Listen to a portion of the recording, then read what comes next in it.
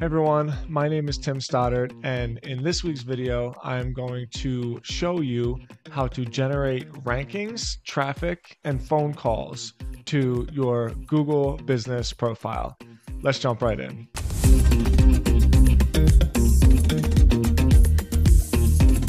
I'm recording this video because I got an email from one of my incubator members. Um, if you're curious as to what that means, go to timstodz.com slash incubator and the email is as follows from Alicia. Uh, I love this email. Thank you. I'm currently working in freelance marketing and copywriting. Um, I loved your idea about starting a business that niches in on helping businesses set up and optimize their monthly Google My Business profile. So basically, Alicia is thinking about creating an agency. And she asked me if I want to set up a business where I charge every month to optimize a company GMB listing are the best services to supply articles, image uploads, video uploads, competition research, getting reviews from clients. I was thinking of charging sixteen hundred a month. Will people will people pay for a service they can set up for free? How does this work? All right. So with that said, let's dive in to how a Google My Business agency actually works and the services and products that you provide for the customers. Hmm. So I'm going to give you guys a little bit of a treat here. I'm going to show you one of my actual companies that I manage. This is Lexington Addiction Center. As many of you guys know, I've been involved in the behavioral health industry for quite some time. And I'm just going to use them as an example to show you exactly how you do it. The first step is you get an admin on the Google My Business profile. I'm not going to actually show you it because there's other emails in this account, but you would go here. Whoever sets up the account would go to the business profile settings and then click this people in access, and then you would get an admin on the account. When you're an admin on the Google My Business account, the back end of the Google business profile, the GBP, is on Google right so like you you see the back end information directly on google as you're looking at the profile so here are the things that you do. The first step is you edit the profile. What you want to do is make sure you put some keywords in the description. So we are trying to rank this profile for drug rehab, Lexington, Kentucky, addiction treatment, Lexington, Kentucky, alcohol rehab, Lexington, Kentucky. And so you can see rehab, Lexington, Kentucky, rehab process. Um, you don't want to overkill it here because this is one of the smaller ranking factors um, but you definitely want to put the business category in. So basically, the way it works is Google will identify your primary category, will identify your secondary categories, and then sort of cross reference that with some of the keywords that you put in the description to just get a really good understanding as to what your business is about. After that, photos. Photos are so, so important and especially experiential photos. So, the way I like to think of adding photos is just pretend your business is a restaurant. The most relatable exercise for people to understand is when everybody is like in a new city or even if you're looking for a restaurant in your own neighborhood what's the first thing you do? You, you look at pictures you check out the ambiance you look at pictures of the food. The same thing applies for google my business. You want them to understand what the experience is going to be like. Um, honestly after i'm looking at this i could do a better job here because you also want to put smiling faces it's so so important. If I were to look at the analytics on all of these pictures, you would see the pictures that have the smiling faces have like three times as many clicks on them as people are browsing um, this as they're browsing the actual facility itself. Then, of course, there's services, and the services are really important because there's a big difference between products and services. And this this next section isn't going to pertain to every client that you're managing, but it's going to pertain to a lot of them. Google Business Profile, I, I keep calling it GMB because I'm old school. Um, the GBP is built for retailers mostly. That's who they have in mind. So if I'm a coffee shop or if I'm a um, if I'm selling like consignment clothing, this section right here, these products is going to give me an opportunity to display the actual products. There's a bakery down the street that I love to take my kids when they're when they're doing good for the day, right? We we get a macaroon, we get like a little surprise. And if I'm that bakery, I'm displaying all of my products right here. But if you're handling a service business, then there's no actual products for you to display. Like, what am I going to do? Make a product out of drug rehab? No. And so, what you do is you cross reference the cornerstone pages that are created on the website. You do a really good job with these pages, and then you list those pages, those services, as the products.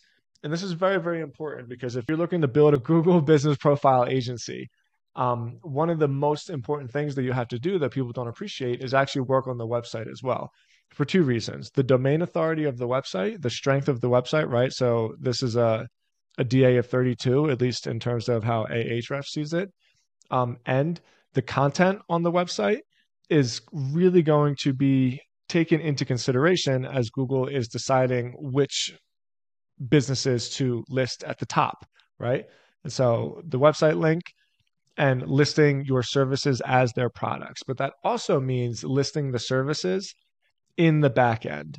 So this section right here, services, these are keywords that Google is using. These aren't going to be displayed right here for the people who are actually like looking at the listing, but you still need to add that content in there. But the products, on the other hand, will be. So it's very simple. You just paste a link in here and then it automatically display displays and you can, you know, create the the picture. So, like I said, if you are working with like an actual physical product company, these are going to be products that that you would list, whether it's a cup of coffee or a macaroon or a T-shirt or whatever. Um, but for a lot of service businesses, you know, like if you're a mechanic, well, you're creating service pages like we do here of the actual services that they offer, and then listing them as their products. So it's slightly abstract, but not really. um, lastly, this is probably the most important thing that you manage.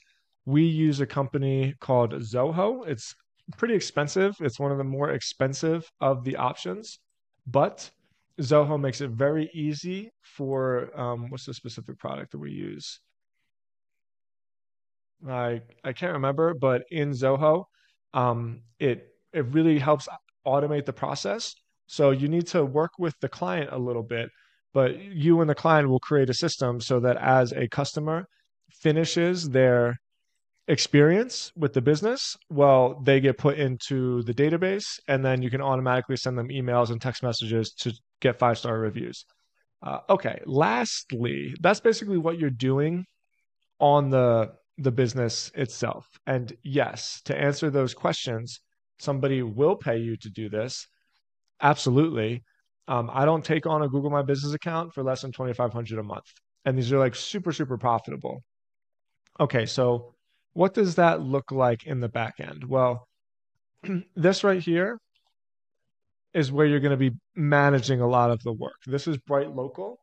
Um, it's an amazing product. It's so good. Like they do such a good job. It takes a little bit to learn how to use, but once you figure out how to use BrightLocal, you'll build your whole agency in here. So if I were to click on all locations, you would basically see all the companies that I manage and you would get like a dashboard of all the companies. I'm not going to show you that just, you know, for obvious privacy reasons. I've already kind of decided to let you in the back end of Lexington Addiction Center. Um, but he, here's all the tools that you use. So this tool is great because it gives you three things. It allows you to post, to schedule your posts. So yes, these posts right here do really matter. Um, I only schedule one a week. Google Business Profile is not quite like a Facebook. You know, it's not as though there's a social media feed per se, but it does kind of act like a social media profile in that you can post content and this post this content will get shared on the front end and it's just a really good signal for the profile in general like google wants to see this and so you can schedule all of it in here this citation builder and the citation tracker so citations are sort of like backlinks, but for business profiles. So even if you have a website and like you get mentioned, that's technically a citation. But what this does is they have a service that they go and get the citations for you. So they have a whole directory of other directories. And then they list your business on things like Yelp or, you know, there's like local business directories that they find. I think like bestbusinesses.com is still a pretty big one. And they can do all of that for you. And then the really cool thing is that this will give you a bird's eye view of where you are ranking in the local pack for the the particular keywords that you're ranking for. So this is a bird's eye view of Lexington, Kentucky. And you know, one of the benefits that we have is that our actual facility is right smack dab in the middle of the city. So it kind of gives us this like perfect little radius of the city itself. And then as you search for different keywords, you can see the the different things that you're ranking for, you know. So we're having a lot of success with this. This is a very very helpful tool because it allows you to kind of systematically generate rankings for each one of these quarter mile grids, I would say. And it's really helpful. So, look, I'm not going to go into too much detail in this video because the fact of the matter is, in order to get good at managing Google business profiles, you have to just do it and you have to learn and create your own systems.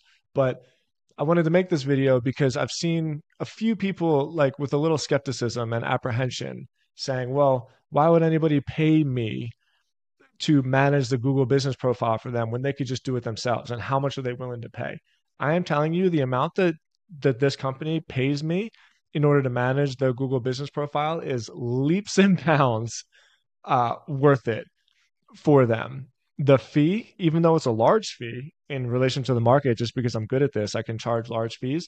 The fee that they pay is still minuscule in compared to the return that they get on it the reason why Google business profiles are just so valuable is because all of us are so used to pulling out our phone anytime we have a question and if we're looking for something and just going like restaurants near me mechanics near me you know i'm, I'm i just uh, got a phone call from a glass company because we needed a new shower door right so what did i do i typed in like shower door company in denver and that's how i found the company um, it is absolutely worth it. You should totally do it. And if you just follow like these really, really simple steps, like this simple criteria, you'll generate results for your clients and they'll stay with you forever because they don't want to do it themselves. They just want to worry about the business. They want to sell the cookies, right? Like they want to make cookies. They don't want to worry about posting all this shit on the internet. Thank you so much for watching. Like I said, I kept this one pretty high level. I can go into a lot more detail if you wish. If you have questions, please leave them in the comments. I will definitely answer them. Please smash that subscribe button, and I'll talk to you on the next one. Peace.